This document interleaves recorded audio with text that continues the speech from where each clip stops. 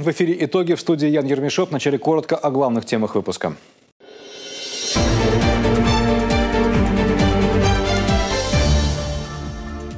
В Красноярске простились с заслуженным тренером, почетным гражданином города и края, героем труда Дмитрием Миндиашвили. Он воспитал олимпийских чемпионов и оказал огромное влияние на развитие мирового спорта. Что вспоминают об этом легендарном человеке его ученики, друзья и земляки. Летний сезон не за горами. Как в этом году будут работать детские лагеря и за какие путевки можно получить существенный кэшбэк. В микрорайоне Северный ускорили строительство дороги на улице Матызалки. Ее с нетерпением ждут родители дошколят. В какие сроки планируют уложиться?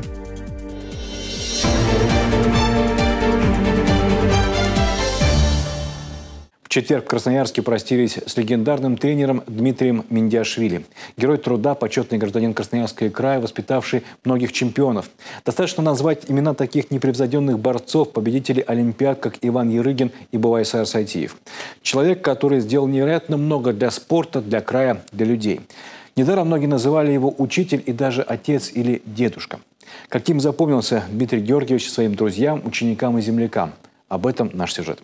Заслуженный работник физической культуры РСФСР, Республик Тыва, Хакасии, Бурятии, Якутии и Дагестана. Академик Российской Академии Образования, профессор, президент Федерации спортивной борьбы Красноярского края. Это кадры с 85-летия Дмитрия Миндиашвили. Ведущие уже несколько минут перечисляют звания, должности и награды Дмитрия Георгиевича, а они все не заканчиваются. А зал аплодирует стоя. А начиналось все с шоферской баранки. В 55-м после демобилизации молодой Дмитрий Мендиашвили переехал в Сибирь. Строил железную дорогу Абакан-Тайшет, Красноярского ГЭС и коммунальный мост через Енисей. И остался здесь навсегда. Я знал его лично. Они были дружны с моим отцом, и при каждой встрече Дмитрий Георгиевич всегда вспоминал об отце. Вот люди вот от такой особой породы, как он, Александр Николаевич Кузнецов, это действительно символы от э, Красноярска, это соль красноярской земли.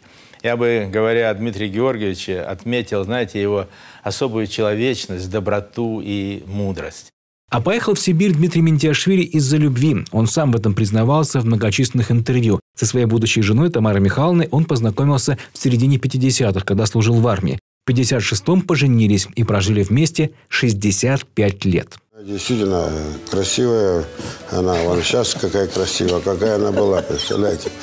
Ну, и, сейчас красивая. Ну, красота внешняя, это нормально, но я вижу, что она умная, и а у нее красота и внутренняя, и внешняя. Так что э, к ней так, тянула к ней вообще. лет.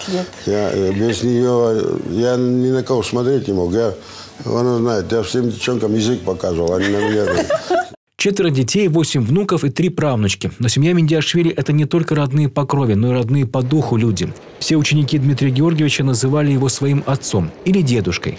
Дедушкой Мито.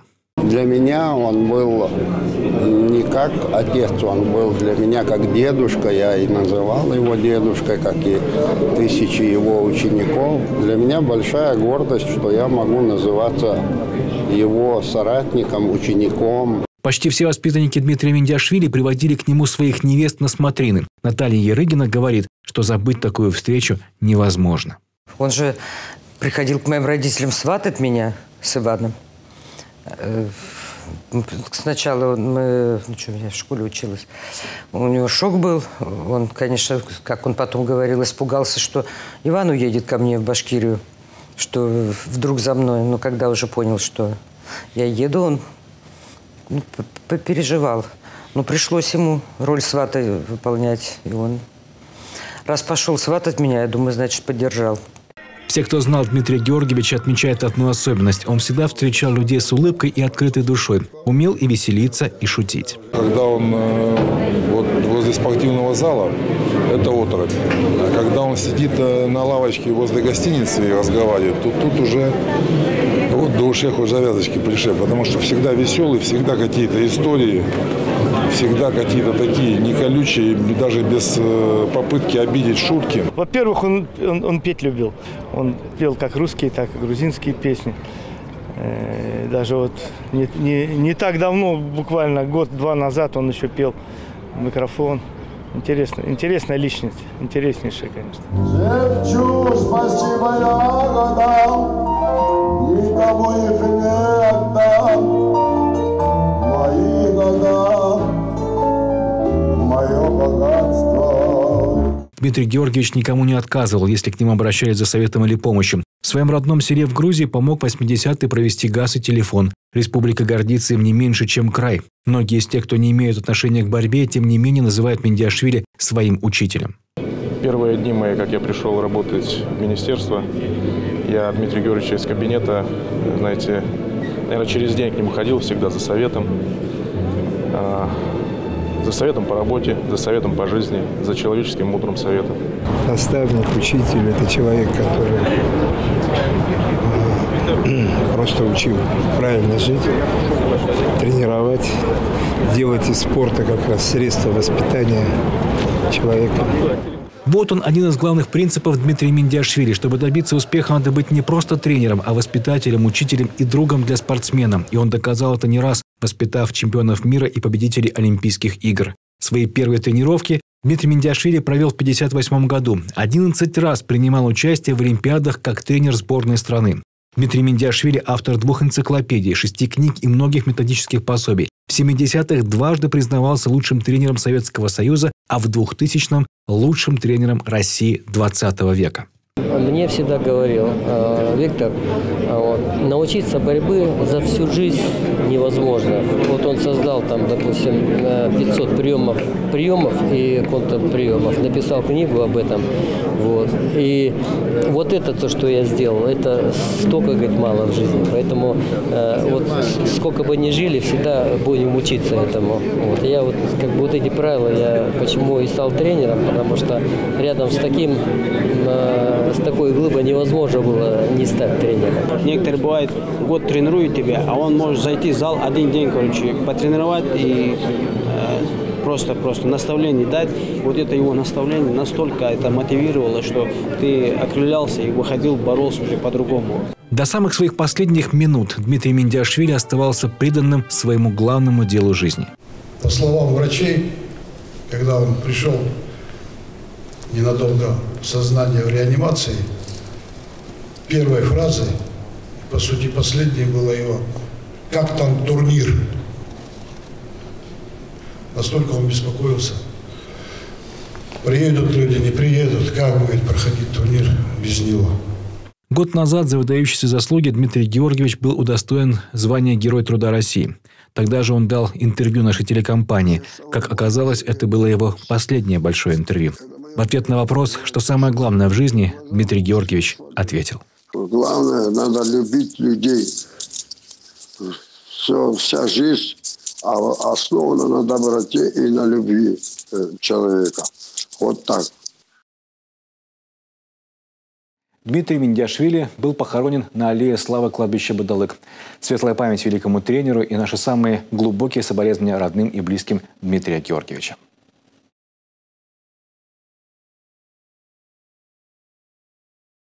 К другим темам. Все дети войны получат первые выплаты из краевого бюджета уже в конце июня. Соответствующий документ в четверг приняли депутаты на сессии законодательного собрания. Это, по сути, все, что нужно для того, чтобы ежемесячно начать выдавать людям деньги. Эти выплаты будут получать почти 100 тысяч жителей региона, чье детство пришлось на годы войны, кому на 3 сентября 1945 года не исполнилось 18 лет. Я напомню, что до принятия нового закона выплату получают только те жители края, чьи родители погибли на фронте фронтах Великой Отечественной. И то только в том случае, если сохранились подтверждающие документы. Теперь по инициативе губернатора Александра Уса материальная помощь положена всем детям войны без исключения. Мы а, шли к этому закону а, несколькими а, такими важными шагами. Изначально была поддержка определена для граждан, которые родились до 3 сентября 1945 года и потеряли своих родителей как защитников Отечества. Затем мы определяли статус ребенка войны, детей войны. И вот сейчас мы подошли к тому, чтобы люди из этой категории уже безотносительно каких-либо дополнительных условий, просто по факту рождения, стали получать социальную поддержку из крового бюджета. Вклад детей войны особый был. Они сильно пострадали значит, во всех отношениях. И морально, и, будем говорить, физически и так далее. И вот э, на сегодняшний день свершилось. Поэтому, значит, за сам закон очень нужен и для, значит, э, восторжествовала справедливость. Вот этой категории людей. И на сегодняшний день очень много звонков благодарят. Спасибо, что наконец-то нас значит, э, увидели, услышали, заметили и так далее. Поэтому этот закон просто необходим. И хорошая новость для предпринимателей. В крае приняли четвертый пакет мер поддержки бизнеса. Его главная задача – снизить налоговую нагрузку. Как говорят эксперты, эти документы должны помочь компаниям восстановиться после потери за пандемию. Первым законом снижены налоговые ставки для некоторых видов бизнеса, прежде всего для тех, кто сильнее всего пострадал от ограничений – туризм, общепит и сферы развлечений, спорта и отдыха. Кстати, для торговли и общепита принят второй закон, с помощью которого некоторые предприятия этих сфер смогут могут снизить стоимость патента на 30, а то и на 50 процентов. Мало того, оба закона имеют обратную силу. Налоги, выплаченные в первом квартале по старым ставкам, пересчитают по новым, а остатки уйдут в счет будущих выплат. По подсчетам краевого правительства, такими льготами смогут воспользоваться более 15 тысяч предпринимателей. Сейчас мы можем позволить себе более точечно принимать решения, потому что большая часть ограничений снята, но часть отраслей пострадали максимально серьезно и не восстановились до сих пор. По результатам консультаций и с бизнес-сообществом, и с бизнес-объединениями, с экспертами, и с депутатским корпусом, вообще эта работа заняла практически три месяца, мы сформировали предложение, губернатор э, дал соответствующее поручение, такого рода пакет мер внести в законодательное собрание, и мы это сделали. Ну, стоимость, если можно так говорить, если уместно говорить о стоимости этой поддержки, э, от 700 миллионов до миллиарда 200, если по большому кругу смотреть, э, для этих категорий предпринимателей. А далее в выпуске. Где в Красноярске построят дорогу, которую так ждут родители дошколят, и какова ситуация с паводками в крае? Об этом после небольшой паузы.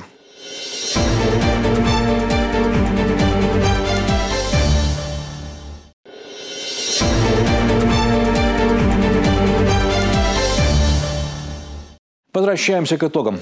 Строительство дороги к новому детскому саду в Красноярском микрорайоне Северный ускорит, и к началу июля там будут нормальные подъездные пути. Напомню, садик сдали в начале года, а детей приняли уже в апреле. Однако все это время родители жаловались, что возить малышей по ямам и колдобинам просто невыносимо. Да и пешком там не пройти. Нет ни асфальта, ни тротуара.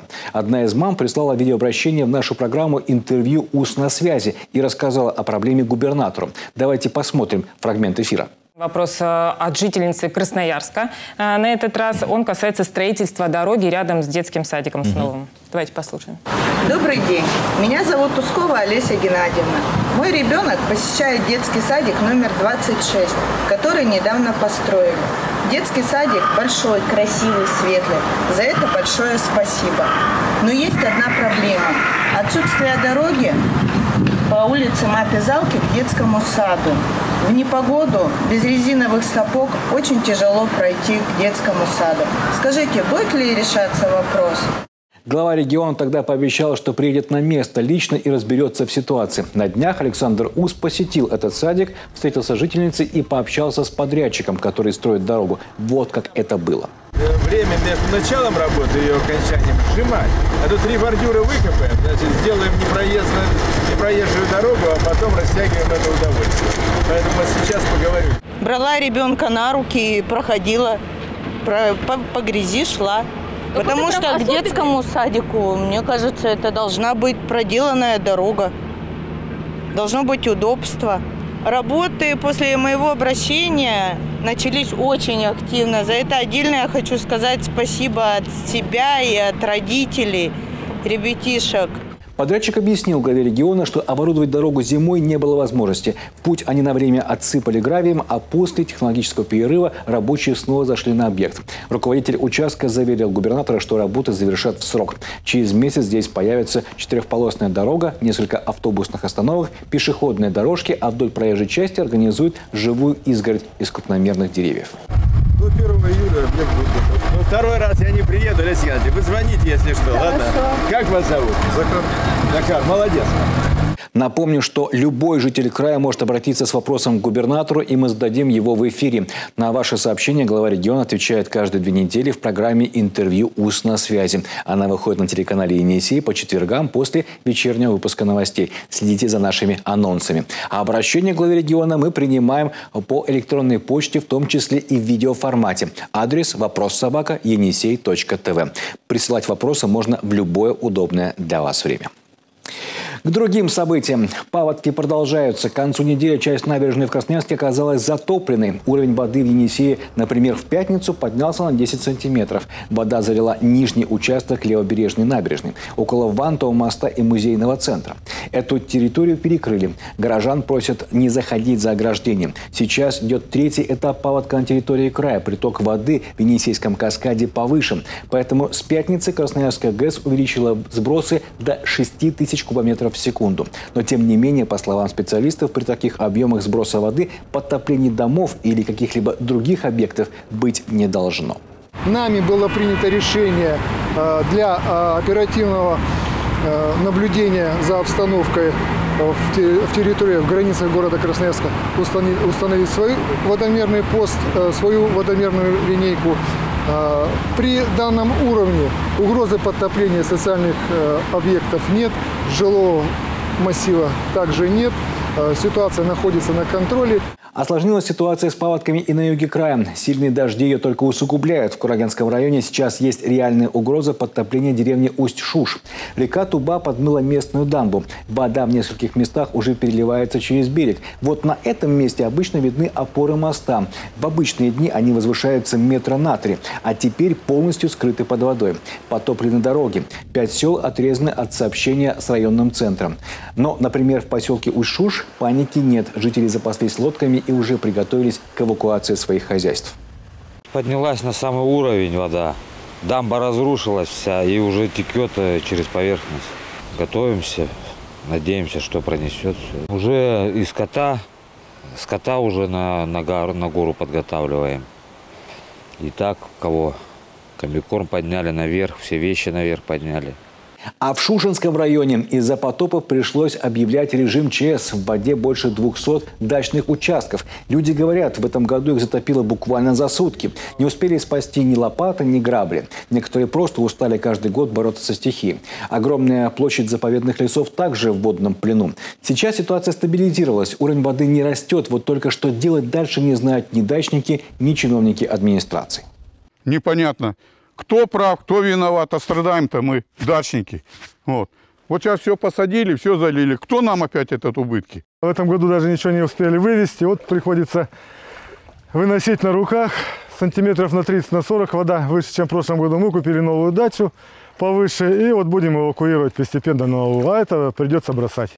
Из-за того, что система растительных каналов еще в советское время была э, создана, она работала, и, э, конечно, часть воды по ним уходила, и, соответственно, осушалась э, вся эта территория. Будем смотреть, либо отводить эту воду в те каналы, которые у нас идет и дальше идет в исток, ну, либо уже что-то предпринимать. Власти, в свою очередь, говорят, нужны колоссальные денежные вложения. И самостоятельно району ни финансово, ни физически такой объем работ не выполнить. Пока остается лишь отводить стихию в район Истока и реку Шуш. А теперь о культуре. На этой неделе в крае завершился первый международный фестиваль знаменитого на весь мир музыканта, народного артиста СССР Юрия Башмета. Он играл в самых престижных залах мира. А здесь Юрий Башмет выступил не только в Красноярске, например, в Железногорске и даже на Рильске. Подробнее об этом фестивале расскажет на следующей неделе программа «Наша культура». А нам удалось взять эксклюзивное интервью у маэстро. Вот небольшой фрагмент. Как мальчику со скрипкой выжить в уличных условиях? Я, в отличие от моих уличных друзей, был чемпионом по метанию ножей. Мы все э, метали ножи в дерево, значит, mm-hmm. рубль 20 стоил ножичек. Помню такое, да. Потом я умел задним ходом на велосипеде ездить, а они нет, а я научился.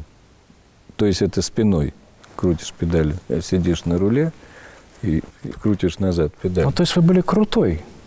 По улице я был э, вполне не только свой, а таким лидером. Да. То есть поэтому мы, в общем, такими выросли закаленными. Все равно это вопрос судьбы. Вы сейчас будете смеяться. Мне, например, очень помог э, в моей карьере. Вот говорят, а как вообще, а как сделать карьеру? Я не знаю как. Это судьба, это стечение каких-то обстоятельств. Но мне, например, помог Владимир Ильич Ленин. Интервью с Юрием Башметом смотрите 1 июня на Енисее в 19.00. А далее в выпуске летний детский отдых в этом году будет с ограничениями, но все же будет. А, подробности, в том числе и о том, как получить кэшбэк, расскажем после небольшой паузы. Оставайтесь с нами.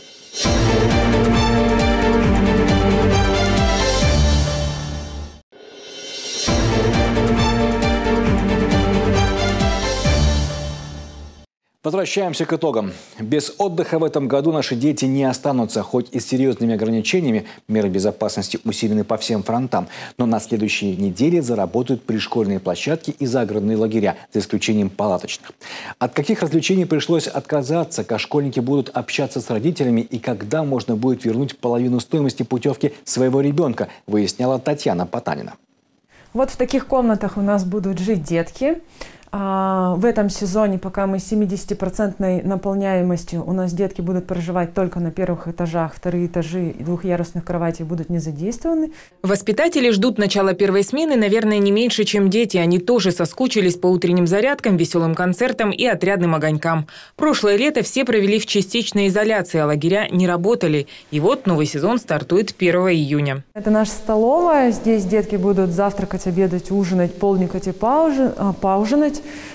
А раньше у нас а, дети сидели по 5-6 человек за столиками, теперь у нас будет расстановка по 4 в связи с тем, что у нас наполняемость 75%. Еще из новых правил родителям вход на территорию лагеря будет категорически закрыт, но общаться с детьми мамы и папы смогут по телефону. Мы разработали много всяких интересных штук, то есть у нас будут видеоконференции в Zoom, мы будем делать отдельно для малышей а, на большом экране а, встреча с родителями в онлайн-пространстве. Я думаю, что да, за полтора года к нему уже все привыкли. В каждом корпусе развешаны рециркуляторы, обеззараживатели воздуха. В санузлах и в коридорах висят диспенсеры для антисептика, чтобы детишки могли при заходе в помещение обработать руки. Детям разрешат ходить без маски всегда, и никаких дополнительных справок и анализов не потребуют. К педагогам требования строже. Лицевые повязки в помещении обязательны, на улице можно без них. В этом году система будет работать, э, ну, я как условно сравниваю, как на подводной лодке, конечно. А, заехали и ребятишки, и весь э, персонал будут находиться полностью, весь сезон э, здесь. А, причем мы сейчас выделяем дополнительные средства для того, чтобы персонал весь прошел, соответственно, все тесты сдали, для того, чтобы здесь обеспечить полностью стерильную зону. В этом году серьезно усилили меры безопасности по периметру периметру камеры, на входе профессиональная охрана и тревожная кнопка. Не менее жесткие требования к организации работы пришкольных площадок. Подготовка работников у нас также соблюдение масочного режима. За три дня до открытия лагеря мы сдаем анализ на ковид. Да, раньше лагерь как бы славился тем, что были массовые мероприятия, дискотеки, праздники. Сейчас, конечно, нет, поэтому программа насыщена именно внутриотрядными мероприятиями. При этом выезды в кино, например, тоже официально запрещены. Только организованные пешие прогулки до ближайшего парка или музея. Приглашенных педагогов с мастер-классами или занятиями тоже в программе нет. Но воспитатели уверяют, дети не заскучают. Большую часть мероприятий мы, конечно же, планируем проводить на улице, как летний период. И здесь будет и у нас лаборатория ГТО, когда дети поймут, познакомятся, что такое ГТО, попробуют свои силы в сдаче нормативов. А, лаборатория игра, игровая, то есть где дворовые игры. Всего в крае летом будет работать почти 800 площадок детского отдыха. Из них 54 – это загородные лагеря. К слову, пока только несколько из них подключились к программе так называемого детского туристического кэшбэка. Напомню, президент Владимир Путин поручил возвращать родителям 50% стоимости путевок в летние лагеря. В Краевом агентстве по туризму объясняют, проект новый механизм дорабатывают. В этот же день э, мы с нашими краевыми лагерями и с нашими краевыми туроператорами стали это прорабатывать. Там действительно такая система не очень простая с точки зрения аккредитации, получения всех разрешающих документов. Но я точно понимаю, что если на федеральном уровне такие решения были приняты, сейчас вопрос техники. Вопрос о том, как организовать этот процесс, как будет проходить процесс получения получения этого кэшбэка. Я думаю, что 15 июня, тот срок, который обозначили для решения всех технических вопросов, в этот срок будут решены все нюансы. Но некоторые уже придумали свой вполне законный вариант, как компенсировать затраты за уже оплаченный отдых своих детей. Родители сдают купленную путевку и тут же покупают новую по всем правилам.